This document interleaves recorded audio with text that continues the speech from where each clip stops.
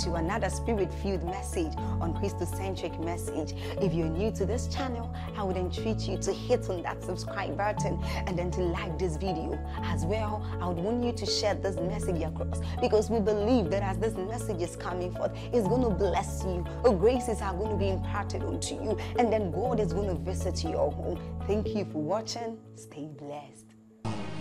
Is there a system in God by which a man can accurately discern the will of God? Are we together? Because the Bible tells us in Matthew chapter 6, when you read from verse 10, Jesus teaching the disciples how to pray. He told them that the kingdom of God only comes when and if his will is being done. Are we together? So he ties the manifestation of the kingdom of God to his will, not your will. In fact, we see how much Jesus Christ so desired the will of the Father to be done. This is what he said in Gethsemane. He said, Father, if it be possible, this is my will now. Take this cup off me. Nevertheless, not my will, but your will be done. There are so many lives that are in a state of perpetual dissatisfaction.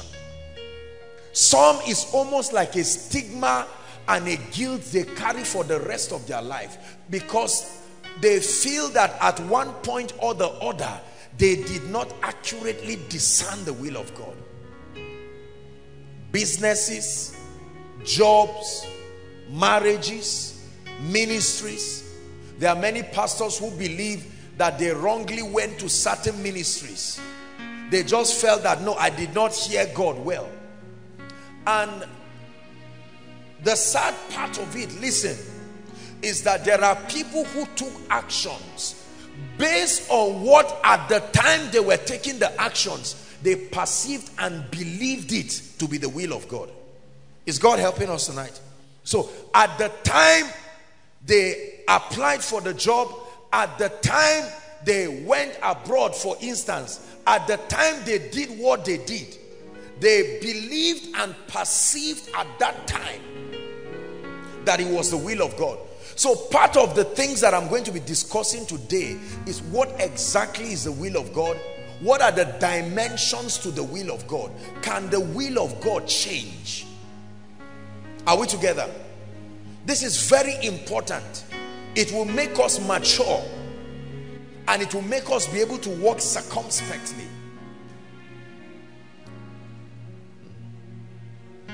Hallelujah. Because your advancement in life and my advancement in life will be tied to my understanding the will of God part time and the ability to take steps in that direction. Did you know I discovered especially recently that believers are not so rebellious. If they know what the will of God is, they have the stamina to follow along. The challenge usually and largely is that the will of God is not known. And so men are left in limbo as to what directions to take in their career, in their lives. And there have been all kinds of teaching and theories about the will of God. So pay attention. Hallelujah. The word logos, write it down please. L-O-G-O-S is the word that is translated in John chapter 1 verse 1 as word. W-O-R-D is the word logos. So when the Bible says in the beginning was the word, the word there is the word logos. And the word logos means the thoughts of a man. Please write it down. The thoughts, the thinking of a man. The word logos means the ideas of a man. The thoughts of a man, the ideas of a man. Number three, the word logos also means the desire or the intention of a man.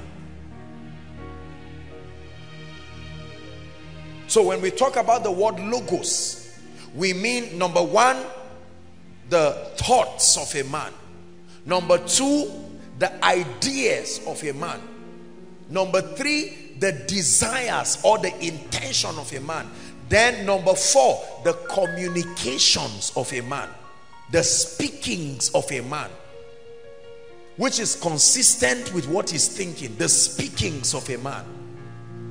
For most people, is only number four that we know. So every time we say the word of God, what comes to our mind is just the communications, the speakings of God. That is correct. But the Bible says, out of the abundance of the heart, the mouth speaks. It says, for I know the thoughts, Jeremiah 29, 11. Please give it to us. Jeremiah 29, 11. It says, for I know the thoughts that I think. So we see that it does not start with God speaking. It starts with God thinking. Are we together? Jeremiah 29 11. For I know the thoughts that I think towards you, saith the Lord. Right? Thoughts of good or of peace and not of evil. Right? To bring you a what? A future and an expected end. Not just an end, an expected end. I know the thoughts that I think towards you, said the Lord. They are thoughts of good or thoughts of peace. So God is thinking now listen, the will of God represents his idea, his desire. Are we together? His thoughts for a man, for a people, that's the will of God. So when we talk about the will of God, there's no mysticism around it. It's a communication of God's desire, his intent, his idea on that subject matter or on your life.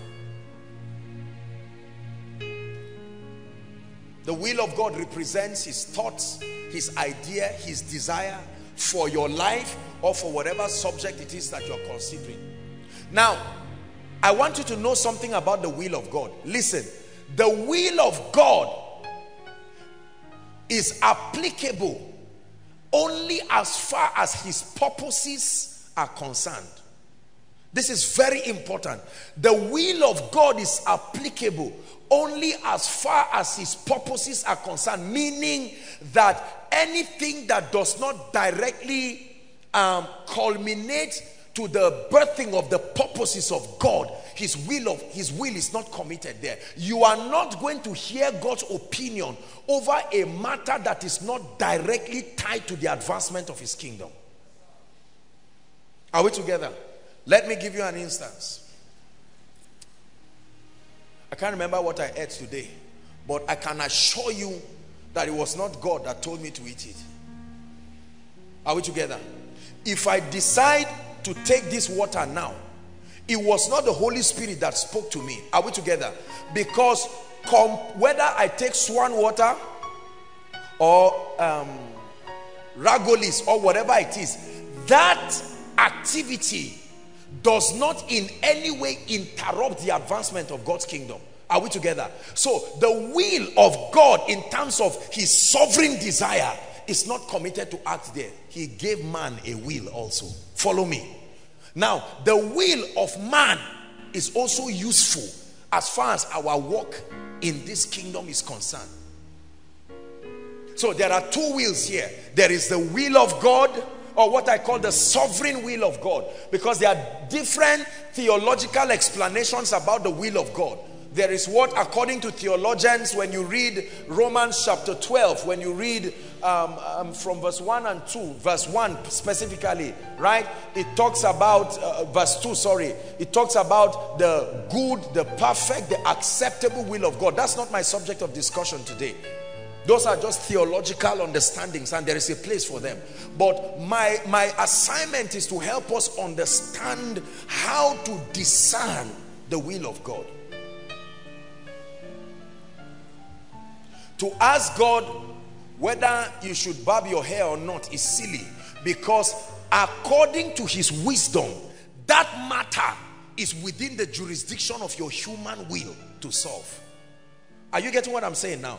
Whether I barb or I don't barb, as far as my assignment and the advancement of the kingdom as committed to me is concerned, it is inconsequential.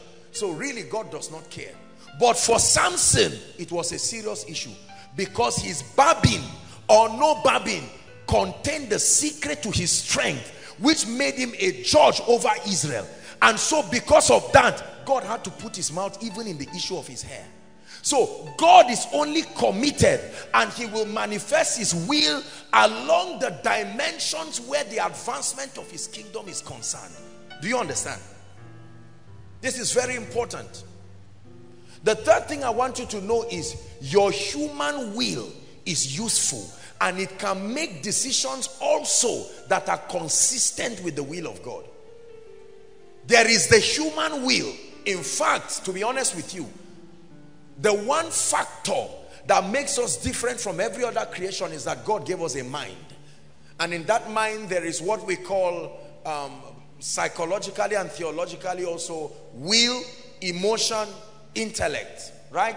The three components that make up our soul our will, our emotions, and then our intellect. Is God helping us now? So, in birthing the purposes of God, there is a mutual interplay of the will of man and the will of God. There are certain decisions, please pay attention. There are certain decisions where God will never allow the will of man to contribute in the decision because of the gravity of that activity with respect to his kingdom. Are we together? There are certain activities that God will leave to the jurisdiction of man's will because regardless of what option the man takes it will not directly affect him. Listen if God took away the will of man then he will be wicked because man would not be serving him willingly. So he made two trees in the Garden of Eden. Are we together? One he called the tree of what? Life. Is that true and the other was called the tree of the knowledge of good and evil. Why would God put two trees in the garden? I mean, he would have just annihilated everything that could cause man to fall. But he put those two trees. And then he told man, he said, man, this is my option for you. I want you to live eternally. Right? And so on and so forth. However, of this tree, do not eat it. Of this tree, you can eat it. Freely eat of any tree. And then man chose to violate the purposes of God. That leads me to the next point. The will of man can superimpose over the will of God. Hmm. God is helping us tonight. The will of man can superimpose over the will of God. That's not to mean the will of God is weak that's how much liberty, that's how much dominion, that's how much of the God class this man has been made to function. An example of this, according to God's divine order and predeterminate counsel, the nation of Israel were never supposed to have an earthly king. Are we together? It was God's design that his sovereignty be felt even by man. And so he always wanted to be their king a nation of people who had God only as their king so that they would not be tempted to get into human worship or idolatry or any of such kinds of things. But the Bible says the nation of Israel themselves they came together and they said give us a king. Are we together? The crowning of Saul as king was never God's intention. Read your Bible. The people pressured the prophet Samuel and he went to God and God said, well, if they want a king, so be it. And Saul became the king. And from there, different kings started coming.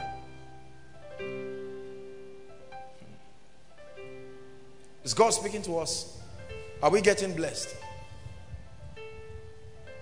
What then, brothers and sisters, is the key to accurately discerning the will of God. At what point in my decision making process am I left to my will alone?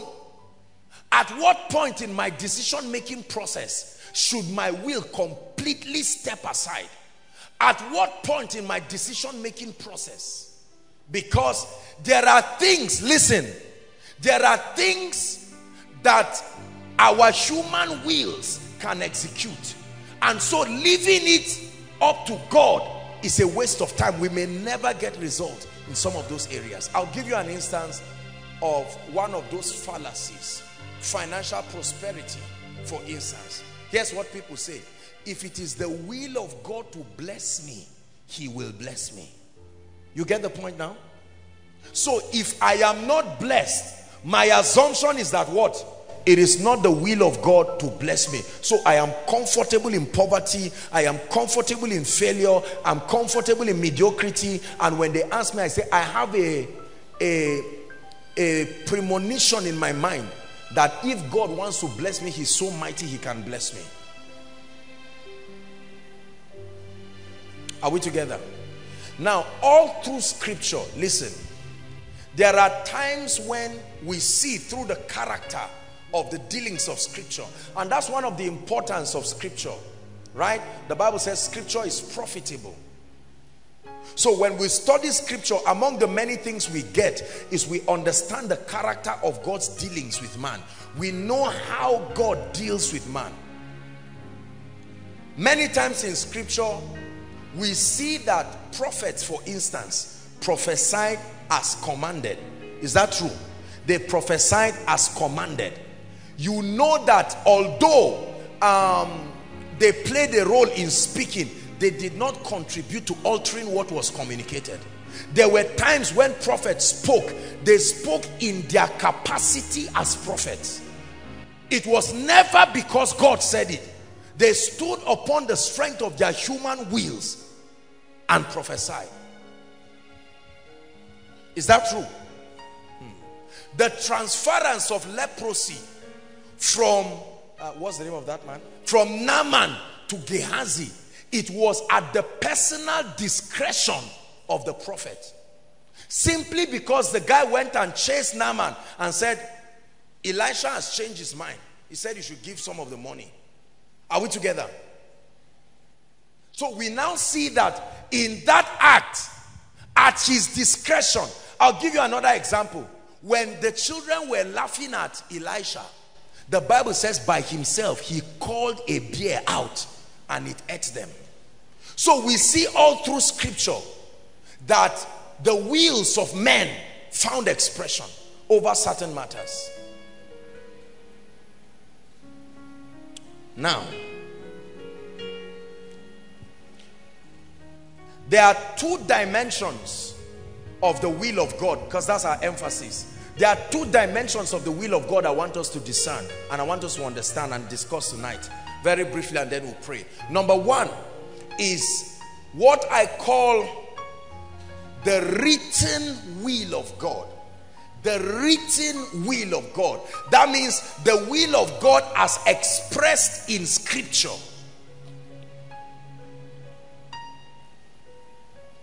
I told us from the beginning of this discussion that the word logos is translated the thoughts of a man, his intention, his desire, his speakings. Now, look up, please. The Bible is a compendium of God's dealings with man. Are we together?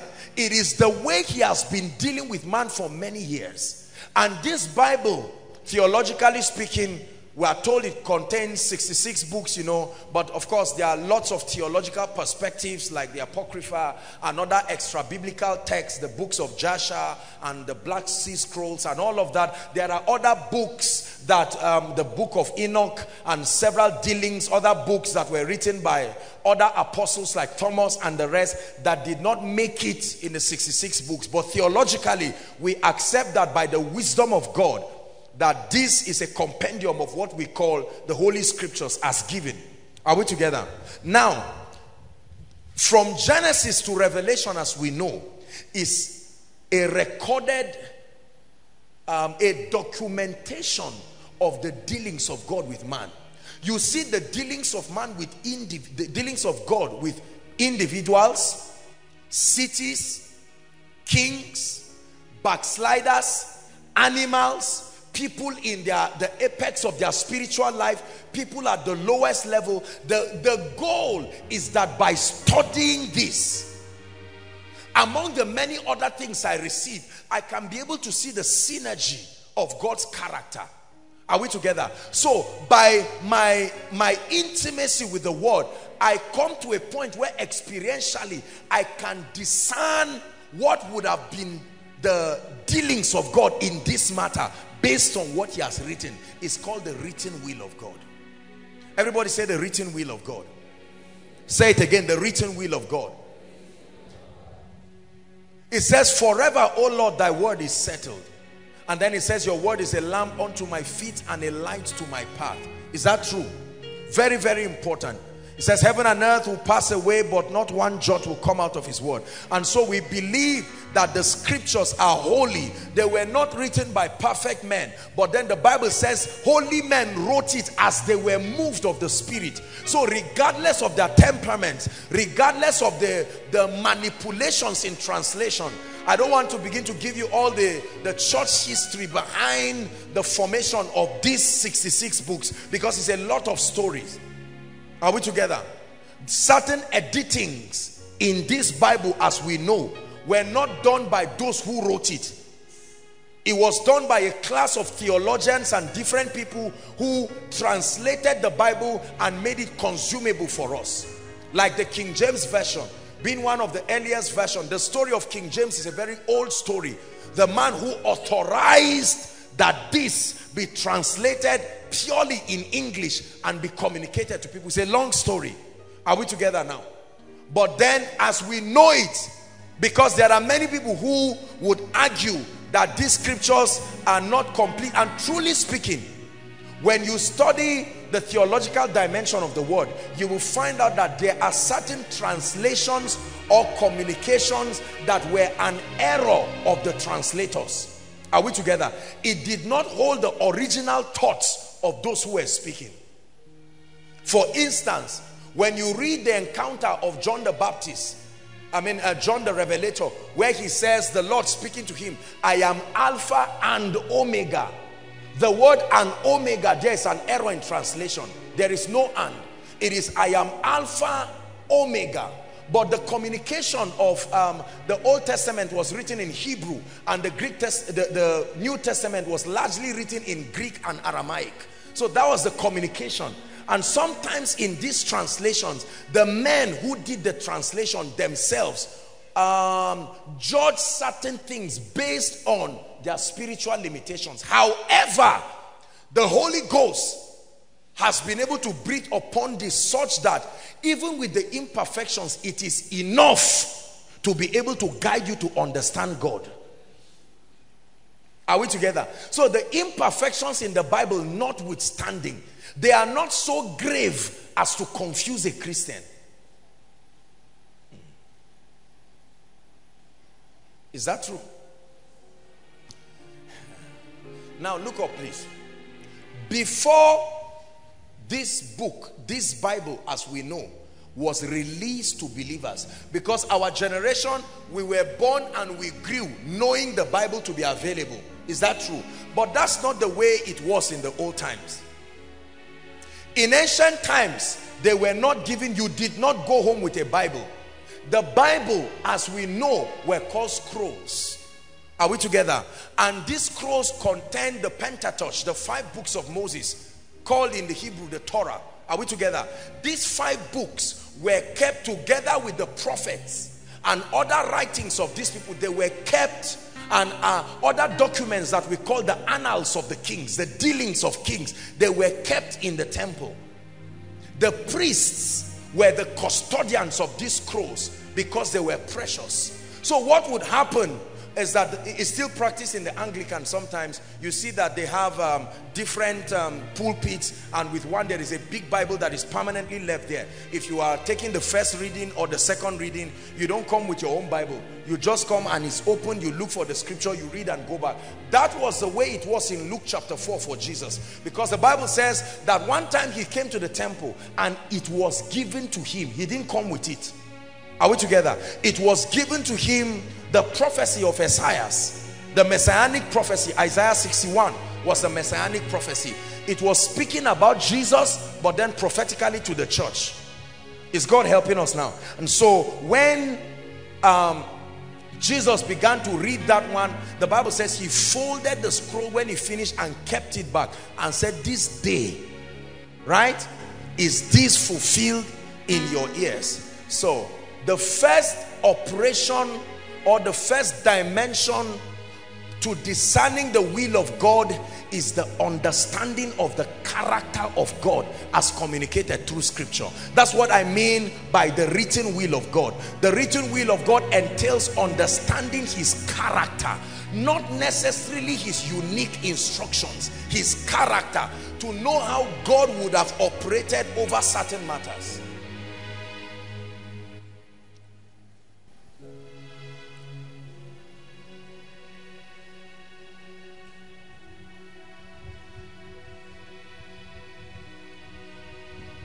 Now, listen.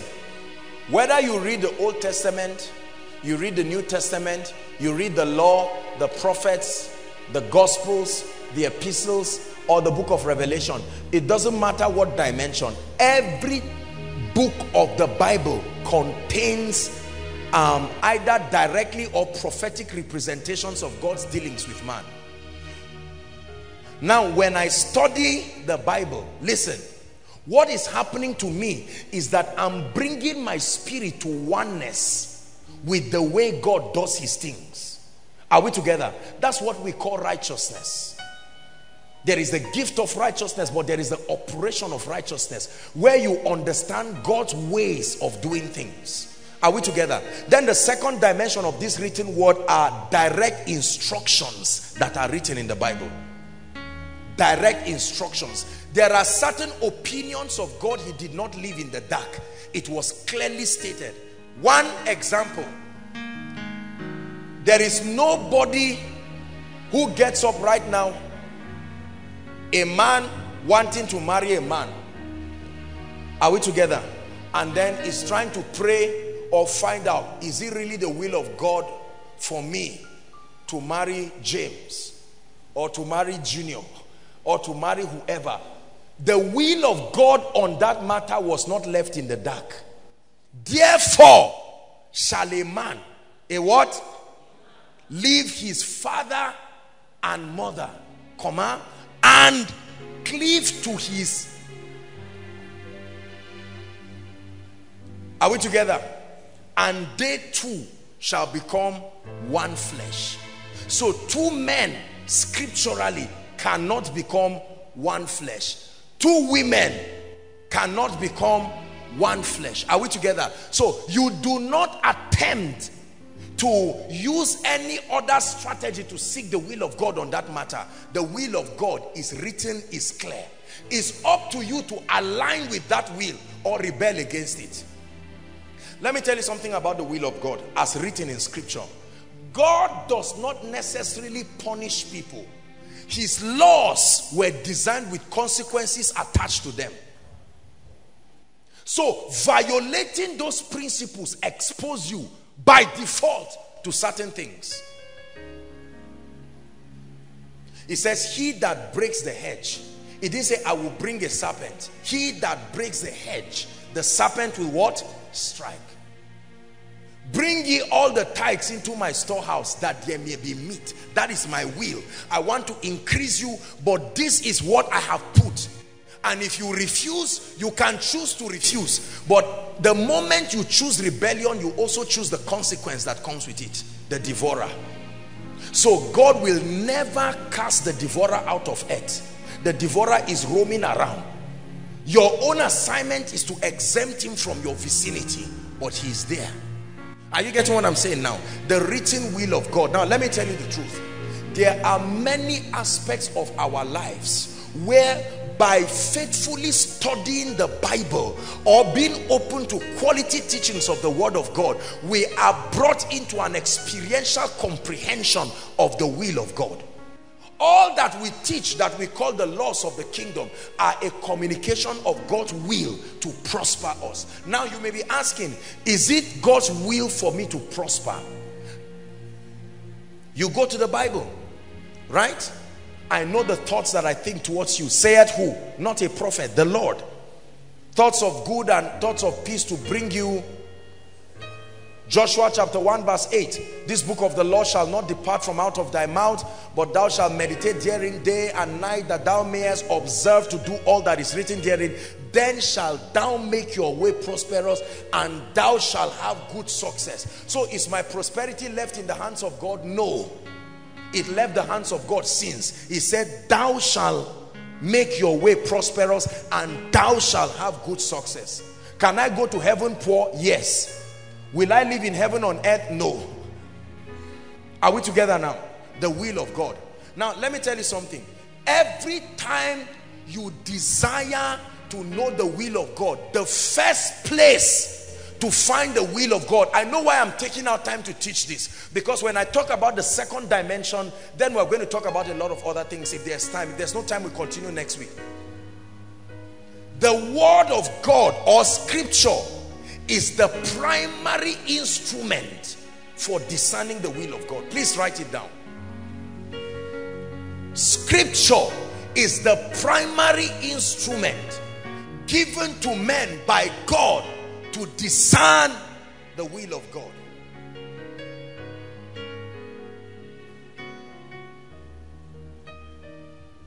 Your chances of walking in error are greatly minimized when you consult the Bible first as the basis for your comprehension of the will of God concerning a matter. I say this because our generation is gradually drifting away from our perception of the will of God as written in scripture to other extra biblical methods and while they are useful they are only secondary and inferior as a matter of fact to the written word of God Say the written will of God. Look up please. Do you know why many Christians are largely confused almost about everything? Let me admit to you that many Christians, including preachers, don't study their Bibles. They don't study their Bibles. If they want to teach on faith, they just go online and Google faith. Any material that comes out, they just pick the scriptures for the teaching but they don't settle down to study the Bible. Not studying the Bible will keep you in the dark as regards God's will that has already been written.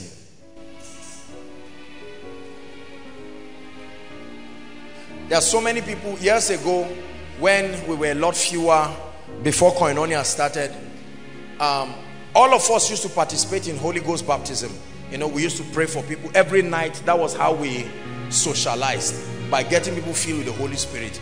And um, I remember most times people would come and they would complain and say I wasn't filled I was prayed for in church and I was not filled with the Holy Spirit the pastor was even angry with me and he said maybe I'm possessed or whatever it is or I should go and come back but that recognition I remember one of the key things God gave me as a revelation was the fact that he desired for everybody to be filled with the Holy Spirit with evidence of praying in tongues. I searched these things scripture after scripture until I came to a point where I was absolutely convinced that everyone should be filled with the Holy Spirit with evidence of speaking in tongues regardless of denominations.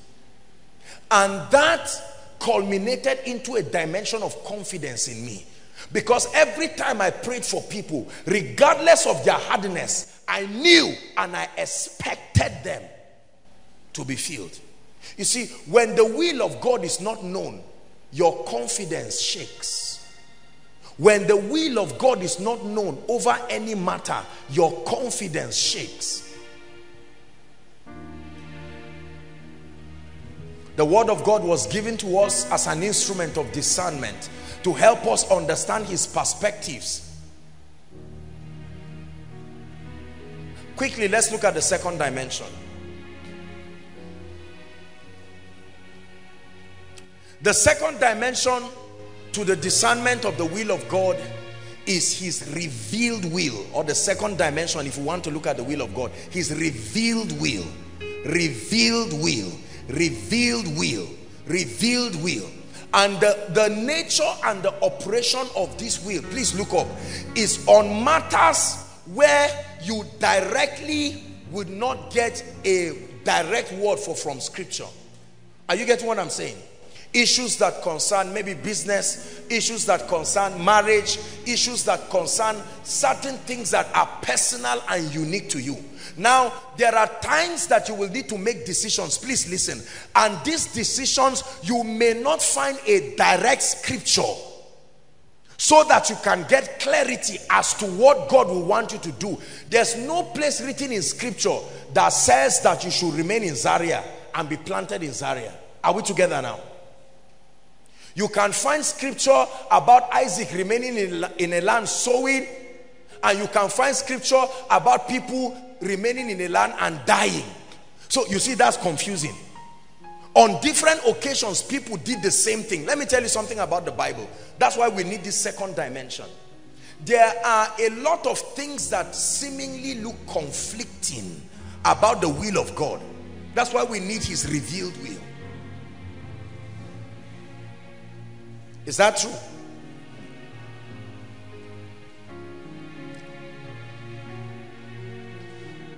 The revealed will of God communicates his unique desire over the personal issue of concern in your life. The revealed will of God communicates his personal desire. You must understand this. It is unique to you. Look up. Let me just go ahead of myself very fast. The unique will of God for me may not be the unique will of God for you. It is dangerous to transfer the communications of God as given to you to someone else because his revealed will comes tailor-made to address the unique situation in your life. Are you getting what I'm saying now? For instance, in the meeting when we were about to start, you saw us doing a lot of foolish things. It was the reception, my discernment on the will of God. He wanted to touch people and bring breakthroughs. And the method through which it will be carried out was also revealed. Are we together? The moment I received it, all that it was left was that I obeyed. And then God brought the performance. Now, if you get up and copy what I did and go to a meeting tomorrow and tell everybody shout, they may shout and jump up and down and they pass a paper to you and say you have five more minutes. You have wasted time and wasted the people's time. And then you are angry. The revealed will of God is for our personal advancement. You do not create doctrines out of the revealed will of God to you because the revealed will of God to you is as a result of so many things. There are many factors. Just follow me. We're going somewhere. So we have established the fact that there are two dimensions to the will of God. There is the written will of God as communicated in scripture.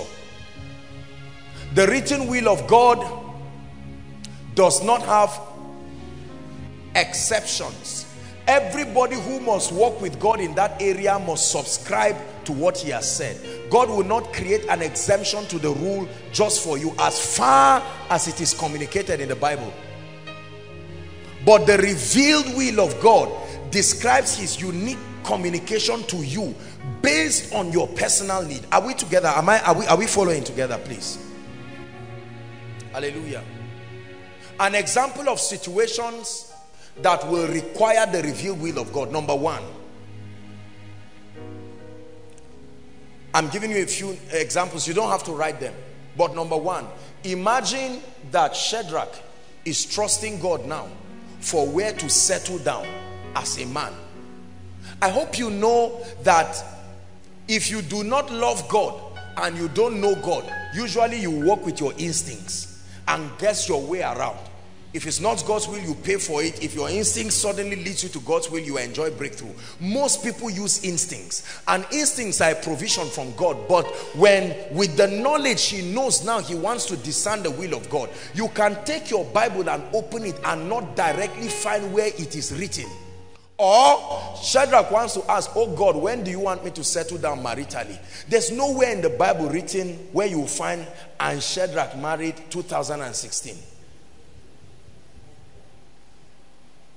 Are you getting what I'm saying now? So at that point, you will need to tap into another source of supply to communicate to you what God wants. Let me tell you something. Brothers and sisters, I submit to you, it pays to walk in the will of God. Don't ever let anybody preach you into believing that you can compromise the will of God and make progress in life. No matter what price it takes to be confident that you are walking in the will of God, pay it. It pays. Knowing the will of God gives us confidence. That's why we cast out devils.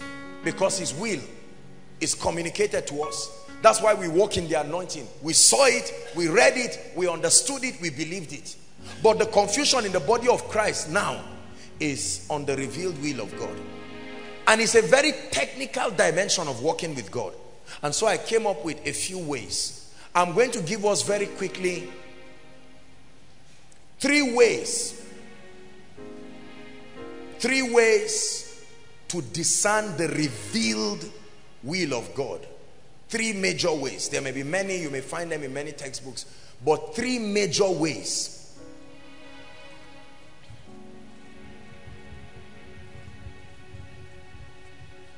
To discern the will of God. Ready?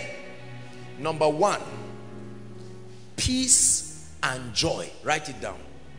Believe me, brothers and sisters, don't trivialize what you are hearing. Peace and joy.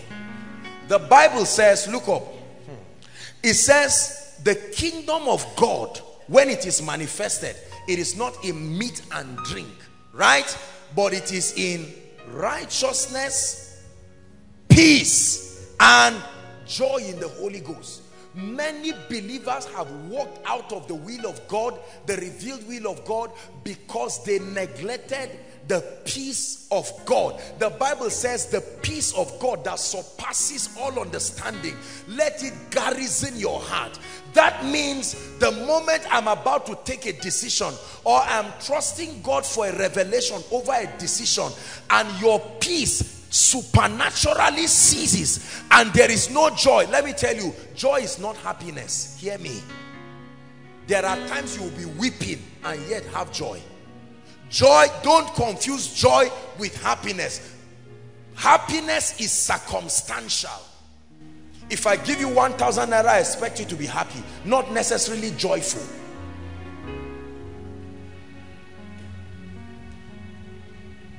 There's a song that we used to sing. I still have joy. I still have joy. After all I've been through, I still have joy. I still have peace. I still have peace. After all I've been through, I still have peace. So joy and peace, let me tell you, there is no man who is not born again who can have peace. He says, peace I give you. Peace is only truly experienced. Not is is not just the word shalom. Shalom just means a state of rest, right? Nothing missing, nothing broken. No. That's not the word that is used there.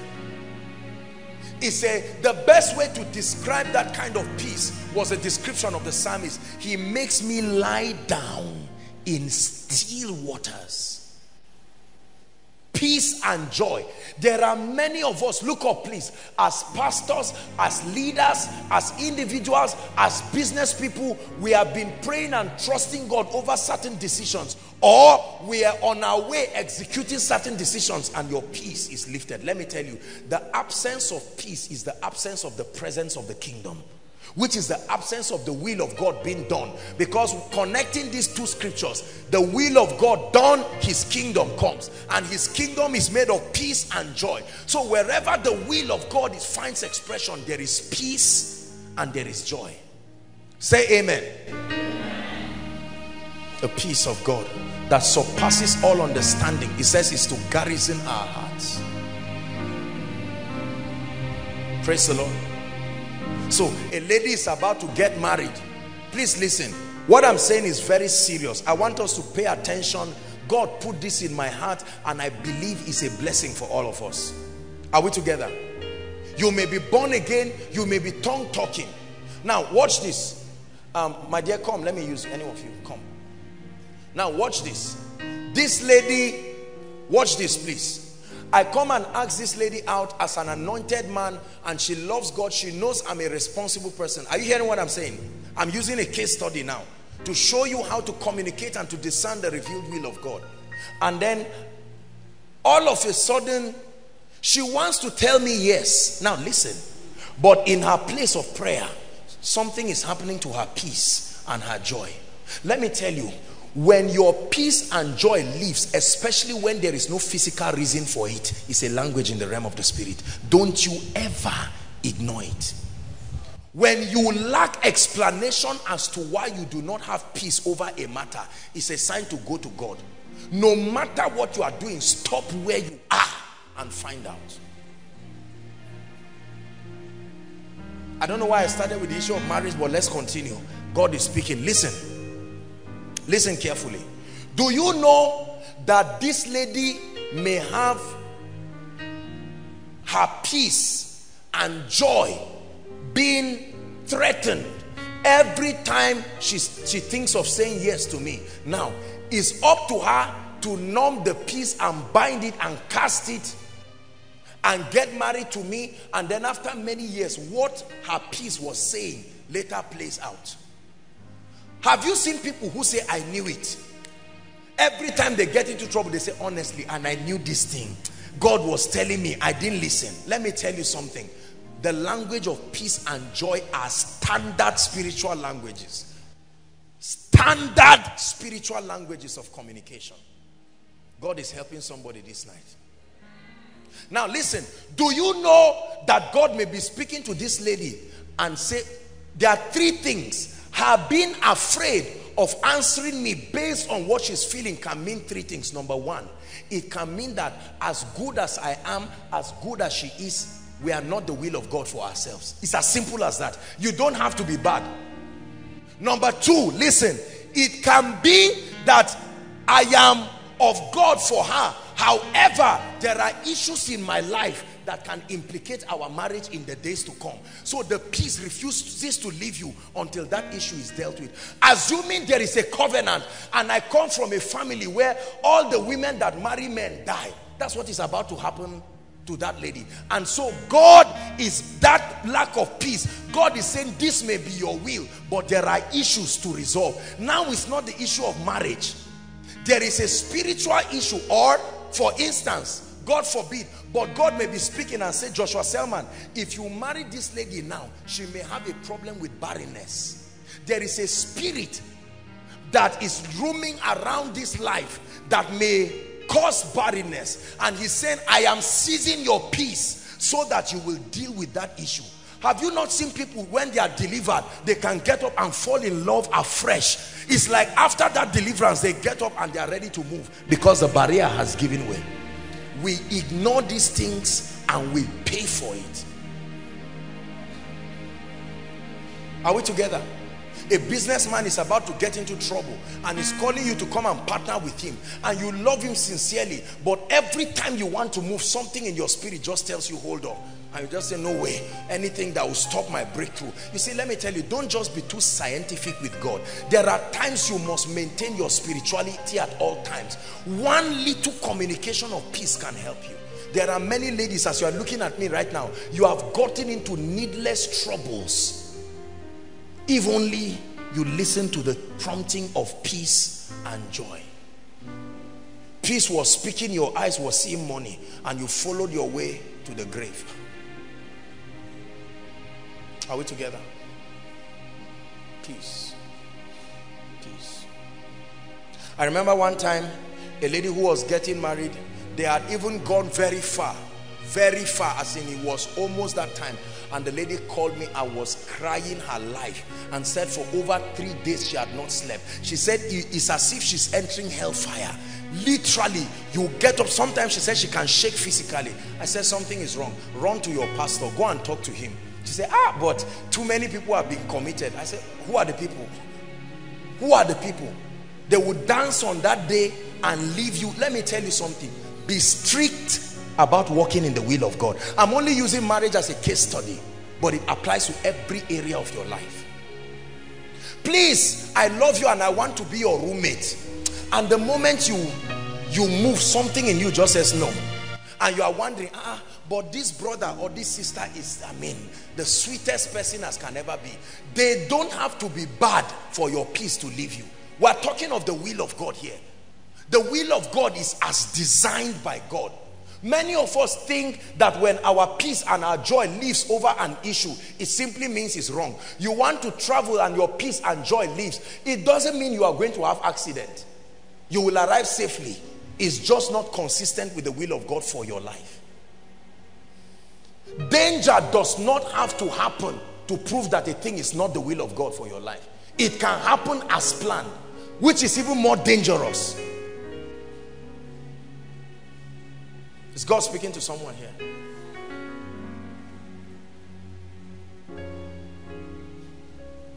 Peace and joy. Number two, dreams, visions, and prophetic experiences. Dreams, visions, and prophetic experiences. I wish I didn't have to talk about this because I can spend, thank you my dear, I can spend a whole night vigil talking about this. A whole night vigil talking about this. Dreams, visions. Do you know Satan has so metamorphosed in his technology of manipulating dreams and visions right now to an extent that many people are even afraid of their dreams and visions. The devil is a liar. In the name of Jesus Christ. Let me tell you something. Anything that is written in the Bible is still being used by God. Is still a valid tool I know that there are all kinds of perversions. There are many of us, if you hear dream and vision, resentment comes in your heart because almost 95% of everything you have seen as dreams and visions either did not happen in your life or backfired on you. So because of that, you hate dreams and visions. That's not true. The Bible says, Joel chapter 2, it says, I shall pour out my spirit upon all flesh. Are we together? And then it says, Your young men shall what? See visions. Your old men shall dream dreams. So visions and dreams and supernatural experiences, though being perverted, is still a tool that God uses to communicate his revealed will to people.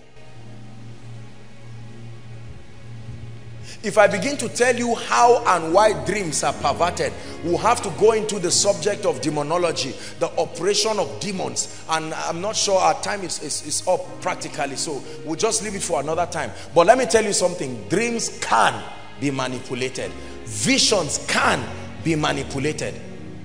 Prophetic experiences can be manipulated. However, however, listen to me. There is a way you walk with God to an extent that your dreams and visions become express revelations. I know people today who are walking effortlessly in the will of God thanks to dreams, visions, and solid, notice my use of word, solid prophetic experiences. Not opinions, solid prophetic experiences. Not, oh God, if it's your will, let boss carry us after koinonia. That's not a wise that's not a wise riddle that you play with God. A lot of us do a lot of stupid things. Lord, if it is your will, as I'm coming out, Charles must tell me good evening. That means I should I should go home after exams. You know, all those kind of things are not wise. We, we fool ourselves when we do that.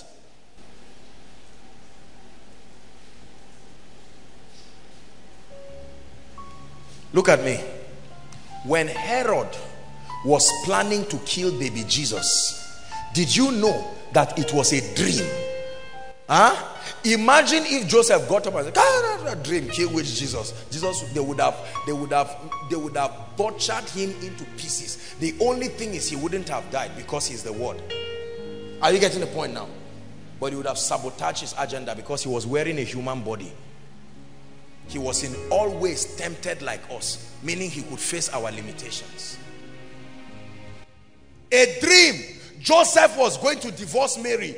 He found out that Mary was pregnant and Joseph said, you too, you know, I'm not part of this. I don't know what happened to you. I'm about to leave you quietly. The Bible says he was going to leave her quietly and it was in a dream. The angel said, uh-uh, do not be afraid to take this woman, right? it's this and that for that which is in her that holy thing it shall be called the son of the highest and on the strength of that dream joseph came and said no problem he continued with her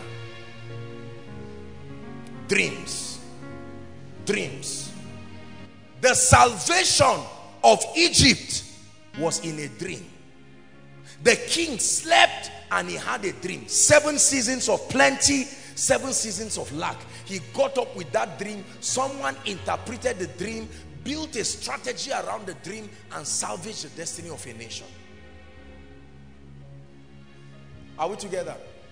Dreams and visions are real in fact the salvation of we the gentiles happened through a vision is that true i hope you know before acts chapter 10 no gentile was saved it was the jews right it was in Acts chapter 10 when Peter was caught up in a trance and then something came down from heaven. Imagine if Peter saw the trance and said, God forbid. No Cornelius house, no salvation of the Gentiles. All of us will be going to hellfire. We're spiritual Jews, but physically we're Gentiles, I assure you. It was a salvation that happened in Cornelius' house that spread to us. Dreams, visions. There are certain decisions I've taken over my life, over this ministry by the grace of God that were on the strength of dreams and visions. God continues to show me visions today, directions, communications of the Spirit. So it is one way to know the revealed will of God. Now let me tell you something very quickly about dreams and visions. You don't have them at will. You have to learn this. Because through witchcraft and Scientology, you can be manipulated to start having and seeing things at will. That is rubbish and jargons. It is exclusively the ministry of the Holy Spirit communicating things to you according to the purposes of God, not according to your desire.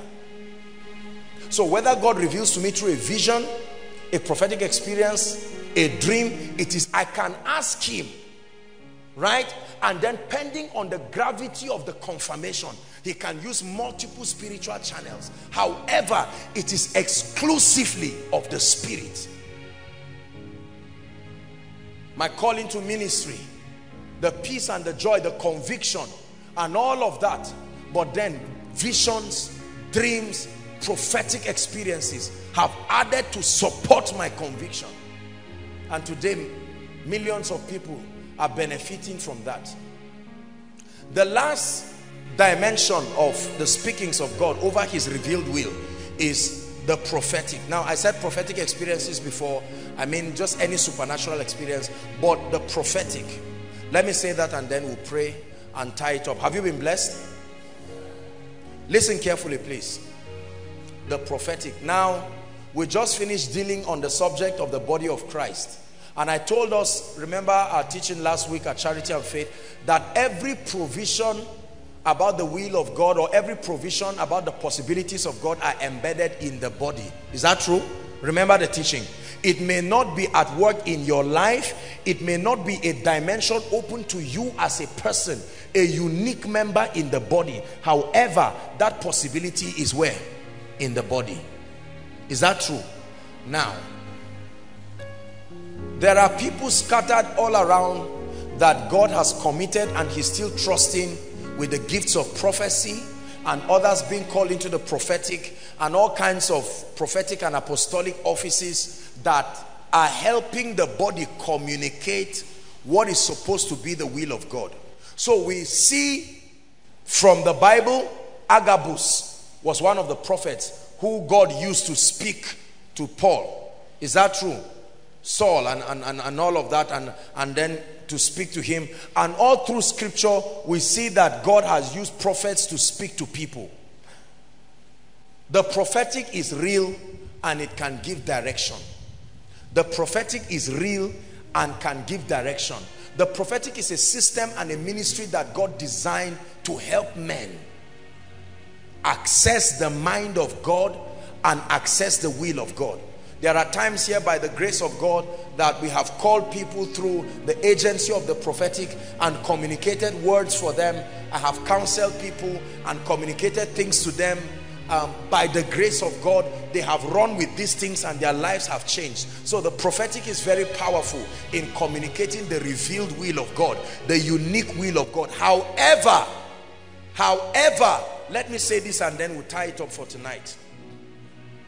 There is or there are two big limitations to the prophetic in themselves. Number one is that the accuracy of reception and interpretation, write it.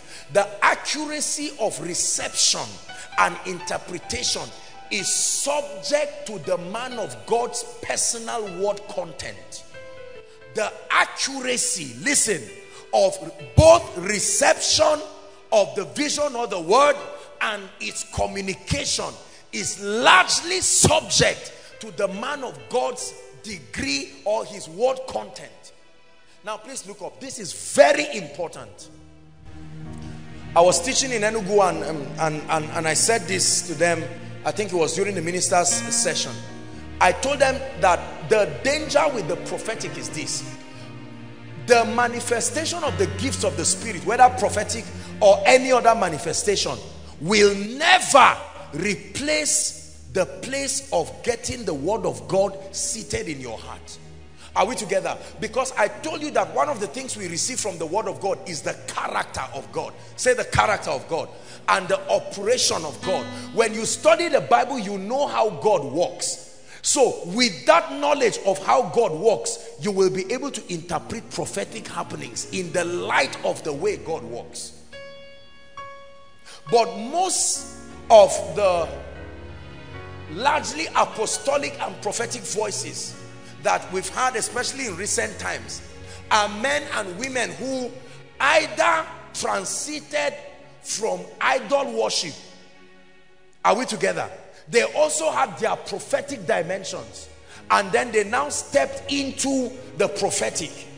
And so there is that corruption because of the absence of the word of God that inability to process spiritual things from the lens of the word of God is responsible for the error in both reception and communication.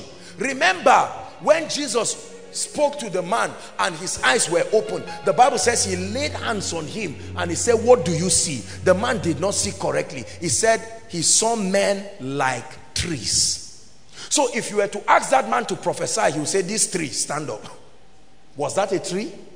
It was what his eyes saw. Son of man, what seest thou? An almond tree. You have seen correctly. Meaning a man can see wrongly. That does not mean you are of the devil. But that it is your word content that accelerates your degree of reception, number one, and two, your interpretation. Do you know that if I do not understand the scripture, for instance, God can open my eyes right now and I can look at Shalhoma. Are we together? Let's assume, for instance, that there is witchcraft in her family. Now, I have not studied the Bible to understand the dimensions of the operations of demon spirit in the lives of people. Any vision I see like that, I will call it demon possession because that is what my understanding has given me. So when I see a spiritual thing wrong with her life, instead of separating it from her, I now look and say, Shalhoma, stand up. You are possessed. Based on what I'm seeing, you are possessed. And I pray for her and she starts manifesting. And she will go back wondering what her prayer and fasting has done. And she's now saying so ah, I cannot understand. I love God. I am born again. I'm filled with the Holy Spirit. What is this one that I'm possessed again? The name is not possession. My inability to understand the word of God is what made me name it possession. But the recipient now has received this as possession. Are you seeing the number one error with the prophetic? So most apostles and prophets don't study the Bible because they think they are open and inclined to perceptions in the realm of the spirit and they feel if, if I can see why should I read it Let me tell you something. Every time you attempt to operate the prophetic without the word of God, your chances of dabbling into witchcraft and error is very high. No matter who you are, you don't have to be fake. The word of God is what gives, they are the guidelines for operating the prophetic. So you operate the prophetic within the jurisdiction of the word of God. Are we together? If I look at Pastor Alpha and his wife, for instance, and God reveals something to me about Pastor Alpha or his wife that is quite serious and I know is capable of destroying their marriage. Now watch this. I am seeing a vision. Something for instance about Pastor Alpha and his wife. Are we together? But I also know that God is not the author of confusion. He will not come and destroy a family. That understanding will help me in the communication. I may tell the wife, please see me after service and I discuss it personally. Are you seeing that now? My inability to understand that I can open my mouth and just say something and say it to the man and think I'm communicating prophetically and after service they march straight to the court and get a divorce. Courtesy, the prophetic. Are you getting what I'm saying now? There are many women that have been made to leave their husbands. So said the prophet. Madam, this your husband is, is irrecoverable. The way he has already left the things of God into witchcraft. And the solution is to leave the man. Or to tell the man the solution is to leave the woman. Including men of God. Including different kinds of people. The prophetic that compromises the character of the word is not accurate any prophetic communication that compromises the character of the word of God is not accurate. It should be re-edited and reconsidered both by the communicator and the recipient. Any dimension, even if it's from Joshua Selman, if it is not consistent with the character of the word of God. Why am I teaching you this? Look at me. You are going to go for meetings in your lifetime you are going to meet great and mighty men, prophets of God. Are we together? And they are going to speak to you at one point or the other. They are not fake, they are not devils, but you must have an, a discernment. The moment you look at a prophet, you should have discernment to process the spiritual level, separate the gift from his spiritual growth. That he's operating in the prophetic does not mean he's matured spiritually. It's a gift. Are we together? So chances are that he can speak to you and you know what part of the prophecy to receive and what part to throw into the dustbin. Otherwise, you will be in trouble. And then there are certain aspects of prophetic communications that are true, but they are coming to you so that you will change it.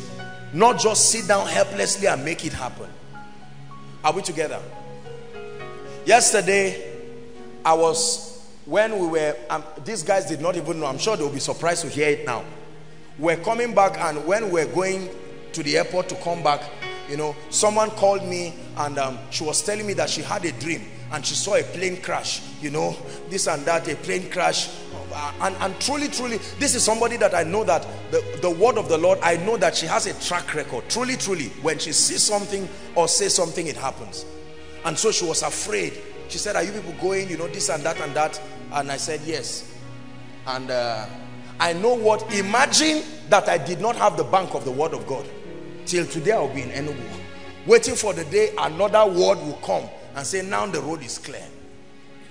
But now, what the person saw may not be wrong. But there is a more sure word of prophecy. Are we together now? So, that may be the plan of the devil for me to die yesterday in the air. Are we together?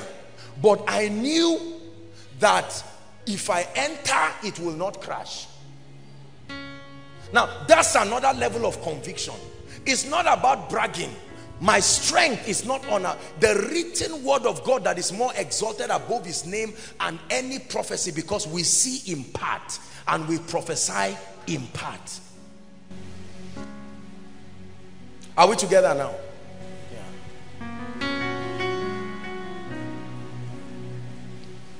A man of God once prophesied to a woman, a very accurate man of God, young man and all of that. I, I don't know which of the cities he's in and all of that. He prophesied to a woman and um, he told her she was going to have a baby girl. And the woman was trusting God for a baby boy. She had sown seeds and this. She went to God and she said, Lord, I, I respect and honor that prophet, but it's a baby boy. I tell you, there is a solid, bouncing baby boy came out. Look, let me tell you, the part of scripture you believe is the part that works for you. If someone tells me today you are going to die, it may be true. God opened his eyes to see demons plotting on how to die. I'll, I'll, I'll, go and, I'll go and die. But I'm not even going to pray about it. I'm going to go home quietly and sit down. Even if the devil drives my car, he will take me home. Are you getting what I'm saying? You must, you must have a settled, now don't brag for nothing. I know the burning bush I have seen that gives me the audacity to make that statement.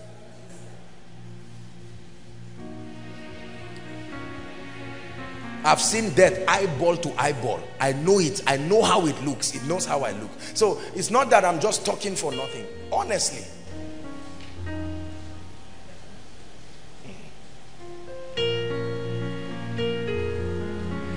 Tomorrow we're off to Ibadan again. Who knows what the devil is planning this night? Maybe they are planning and say, okay, we lost our chance. Now is the next chance.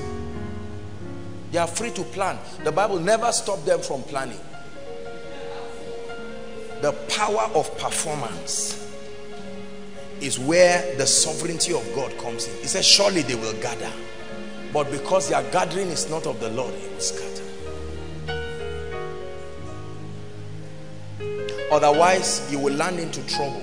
Someone will look at you and say, oh, you do not have a fallopian tube. Based on what God is revealing to me, Kai, there's no fallopian tube, no child. And you go back saying, talk, the way this thing is, I will just go and adopt a child. And the man who married you is regretting and angry and wondering why. But the Bible says, and God opened the womb of Leah.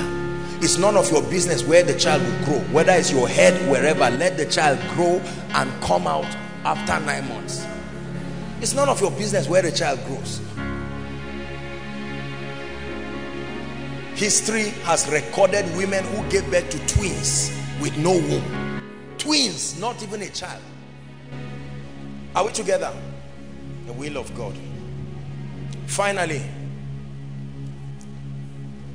there is a system that God built in the body to help us grow to a point of discernment where we can receive his revealed will. And that system is called praying in the spirit. Please write it down. There are not many systems to discernment. Praying in the spirit. I didn't know time had gone so much. Oh my god. Everybody say praying in the spirit. Say it again. Say praying in tongues now, let me tell you something. Look up, please. First Corinthians chapter 14, when you read verse 2, you read verse 4. It says, He that speaketh in an unknown tongue. Listen, please, believers. It says, edifieth himself. Edifieth himself. He that speaketh in an unknown tongue does what? Edifieth himself.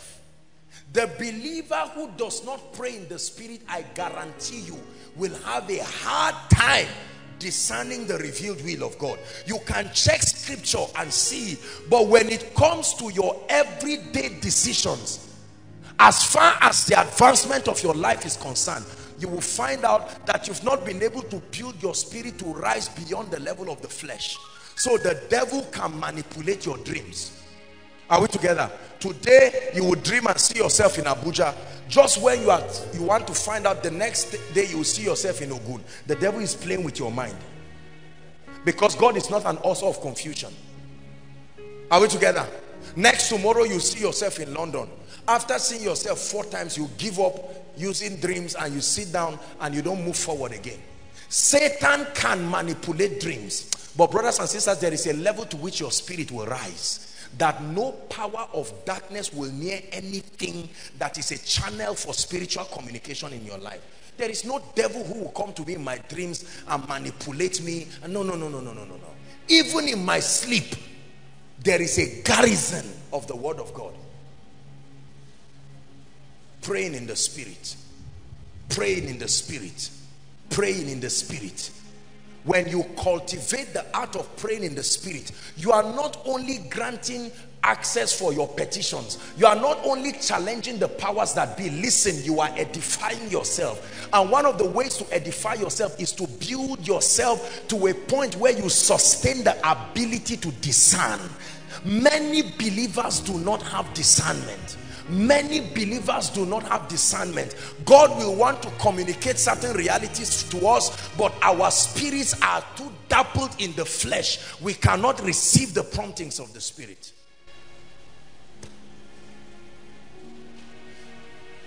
When his will is done his kingdom comes. The will as written from scripture should be obeyed to the latter without any compromise but that part of the will that has to be revealed is accessed largely through discernment. Discernment will also help you to dream correctly, not dream foolishly. You are trusting God for direction, a serious direction. You have a dream and you saw yourself drinking ice cream. How does that relate to what you are laboring and fasting for? Don't laugh. In the Bible, when men slept, God showed them dreams that were consistent with their desires. But right now, dreams have been devalued because we are communicating carnally. The devil is a liar in the name of Jesus. Rise up on your feet. We are going to pray.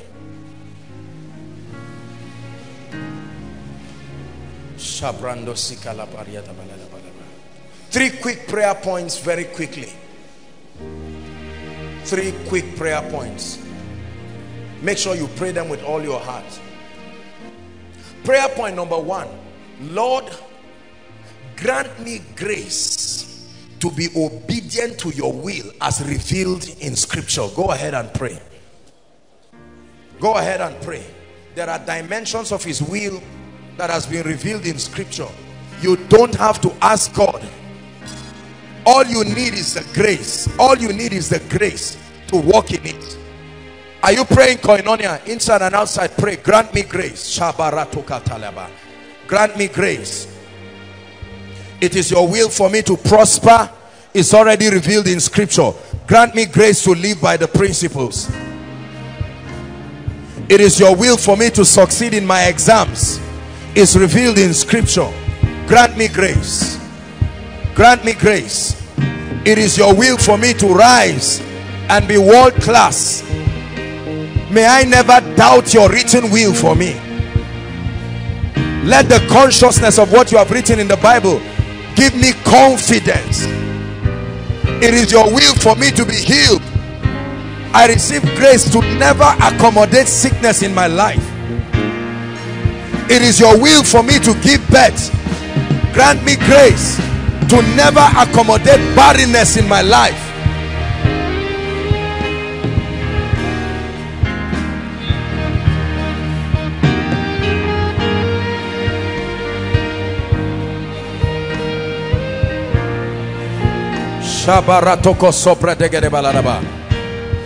Please pray, pray. You are building yourself. If you must fulfill destiny, it will only be according to the will of God. And the first dimension of his will is his written will, access from scripture. Hallelujah. Hallelujah. Hallelujah. Listen.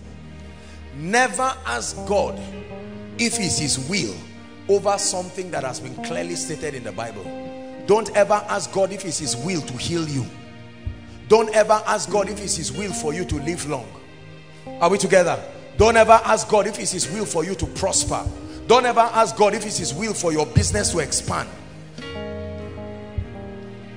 It's his written will. Second prayer point you're going to pray and say, Lord, every direction I need that I have not directly found in scripture, I pray that you reveal it to me. Please pray. Every direction I need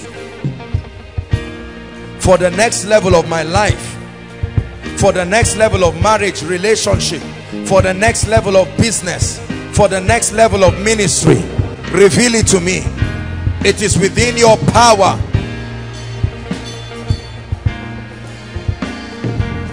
Lord, use the instrument of peace and joy. Use the instrument of peace and joy. Use the instrument of dreams, visions, prophetic encounters. Lord, even use the prophetic ministry. Speak to me. Let my confusion of decades melt away with one assured direction from you. Let my confusion of decades melt away. Let my confusion of decades melt away. Let my confusion of months, let my confusion of years melt away. Where to go, what job to do, what business to take, who to marry, how many children to have. Lord, I believe you. Your revealed will. I'm at a sensitive period in my life. I cannot make mistakes. Pray. I need a clear direction. I cannot afford to make mistakes over my academics. I cannot afford to make mistakes over my marital destiny. I cannot afford to make mistakes over the business that I should be engaged in.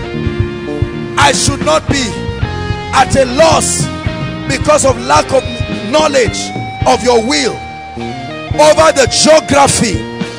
The geography my location. Reveal your will to me oh God.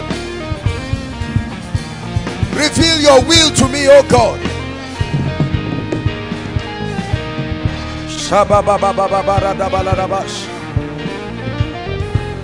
Hallelujah.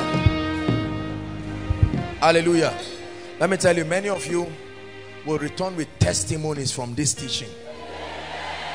Because so many of us right now do you know listen let me tell you. Do you know why many Christians don't move forward because they have been brought to the awareness that taking a step outside of the will of God will cost you. So most Christians are marking time because they want to make sure they are sure of their decisions, which is why you must pray. Because it is the devil's plan to manipulate the revealed will of God so that when you don't hear it, you don't move forward. Are we together? I'd like you to pray and say, Lord, build my spirit man to a point where I receive your will without error and without manipulation. Lift your voice and pray. Build my spirit man. Build my spirit man. Build my spirit man. Build my spirit man. Build my spirit man. Kabarato soto kapashabarada baladaba. Build my spirit man. In the name of the Lord Jesus, build my spirit man. So that I can discern your will. I can discern your will. Build my spirit man. No manipulation of my dreams. Build my spirit man. No manipulation of my visions. Build my spirit man. No manipulation of the prophetic experiences that come to me. My God and my King give me sound experiences that will convince me of your will beyond the shadow of a doubt.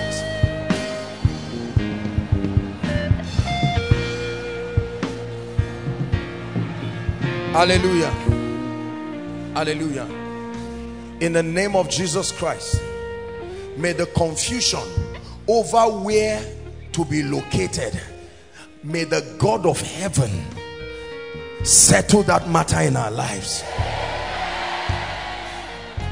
May the confusion over when to marry who to marry where to marry be settled once and for all in our lives in the name of Jesus. May the confusion over what business to do and where to do it and with whom to do it be settled in the name of Jesus Christ anyone here who is currently in a season of strange confusion it looks like everything is confused in your life. You are a Christian you love God but you are confused about marriage you are confused about career you want to leave Zaria you don't know whether you should leave or not. You don't know whether you should get into ministry or get a job. I pray tonight in the name that is above all names I pray that through your dreams and the visions of the night may the will of God be revealed to you. May the will of God be revealed to you.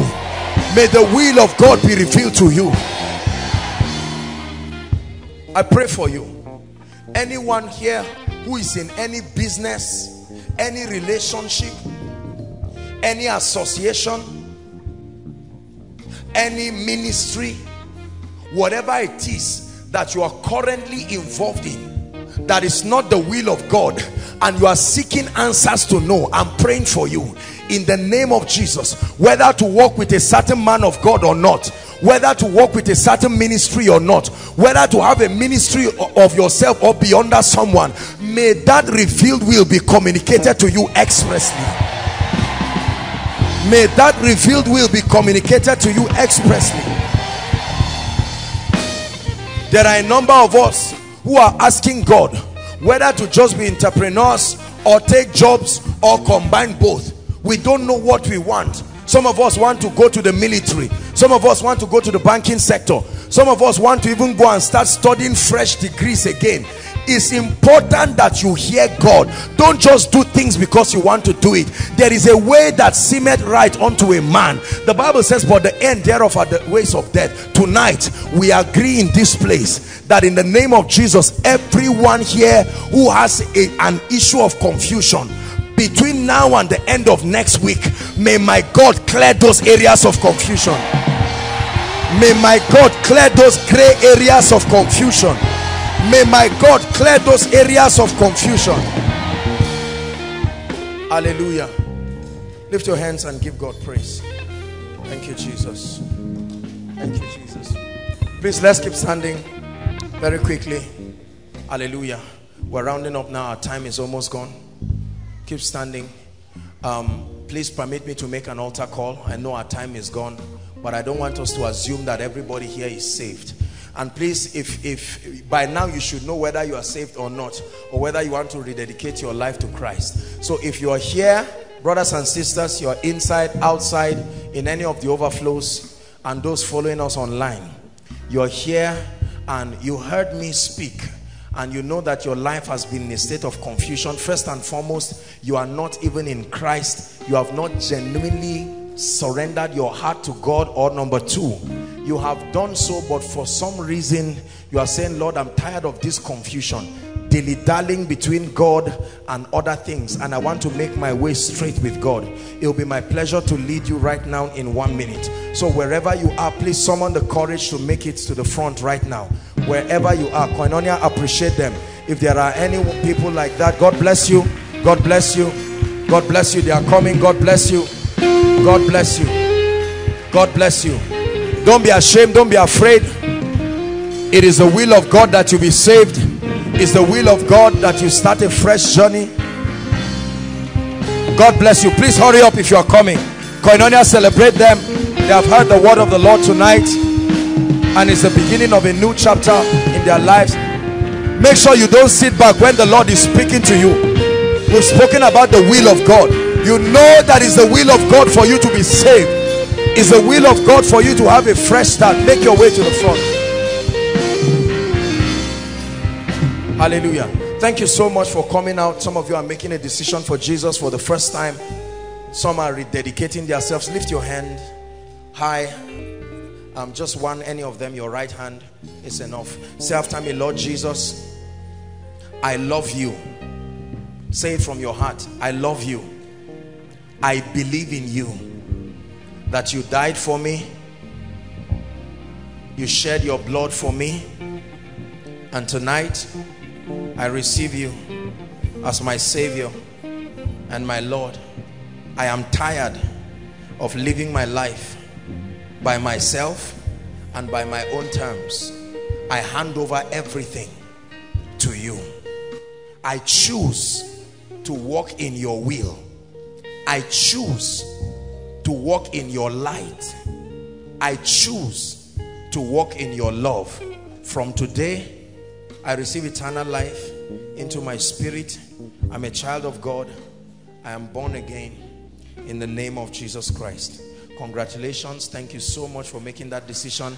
I'd like you to follow the gentleman waving his hands. Please make sure you do follow him. He will have your details and you'll be back to your seat. Let's honor them. Honor them, Koinonia.